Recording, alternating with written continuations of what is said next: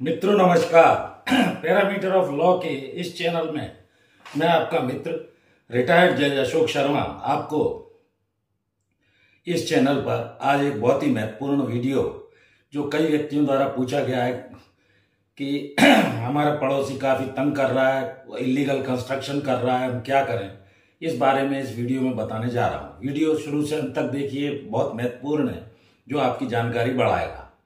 कई बार क्या होता है, कोई आपकी दुकान है, मकान है, कोई भी व्यक्ति नगर निगम, नगर पालिका, जहाँ से उसे परमिशन लेकर बनाना चाहिए, बिना परमिशन के इलीगल कंस्ट्रक्शन कर देता है तो उसको आप कैसे रुकवा सकते हैं, यह आपको जानना चाहिए।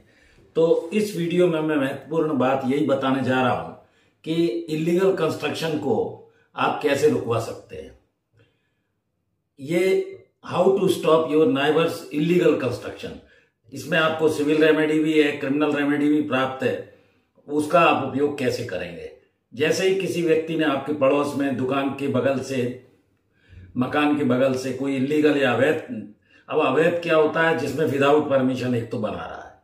उसकी कोई लीगल एंटिटी नहीं है, कानूनी रूप से उसको मान्यता नहीं है, कानूनी रूप से उसे अधिकार नहीं है, वो इस तरह का इलीगल कंस्ट्रक्शन अवैध रूप से कर रहा है। तो ये आपको पता करने के लिए सबसे पहले संबंधित जो भी अथॉरिटी है, जहाँ से अनुमति ली जाती है, वहाँ आरटीआई का भी आप आवेदन लगा सकते हैं।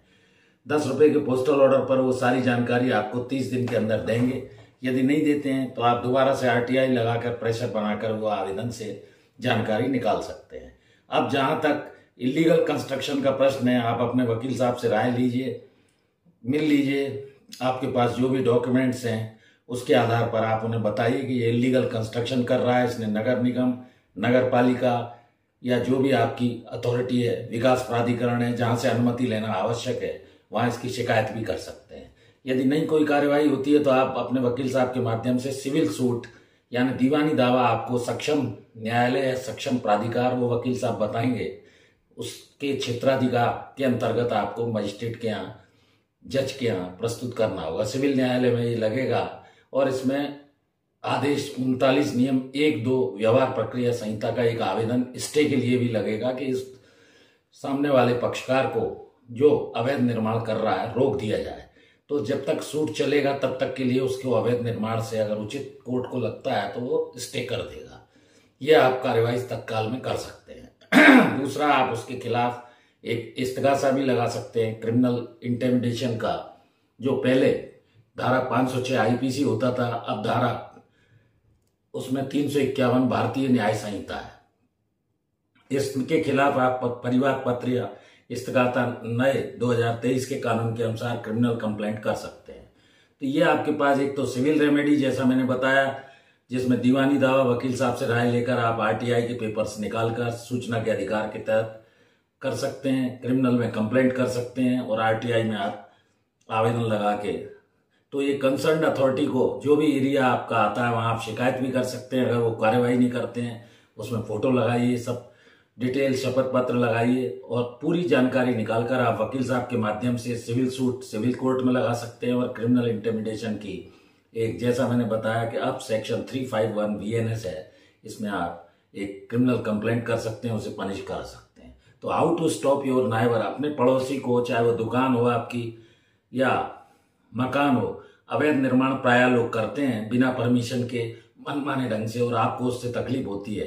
तो आप ऐसे पड़ोसी को, के कंस्ट्रक्शन को जो आपको परेशान कर रहा है, रुकवा सकते हैं। सिविल न्यायालय भी जा सकते हैं क्रिमिनल कंप्लेंट भी कर सकते हैं। अक्सर दुकान मकान के नज़दीक लोग ऐसा करते हैं और लोग परेशान होते हैं। तो ये मैंने रेमेडी आपको बताई। कई बार इलीगल जब कंस्ट्रक्शन होता है अनऑथोराइज होता है, बिना परमिशन के होता है तो आप इसके लिए इस उपचार का उपयोग कर सकते हैं। आप अपने संबंधित हाईकोर्ट को भी, यदि कोई सुनवाई ढंग से नहीं होती है संबंधित तो उसमें मैंडेमस रेट में आप जा सकते हैं स्टेट के हाईकोर्ट में, वकील साहब से रेट फ़ाइल करा सकते हैं और इस तरह उपचार प्राप्त कर सकते हैं। तो ये आपका अधिकार यदि पड़ोसी तंग कर रहा है, आपको जानना चाहिए। मैं इसी तरह की छोटी छोटी जानकारियाँ इस चैनल के माध्यम से आपको देता आ रहा हूँ। जुड़े रहिए पैरामीटर ऑफ़ लॉ चैनल से।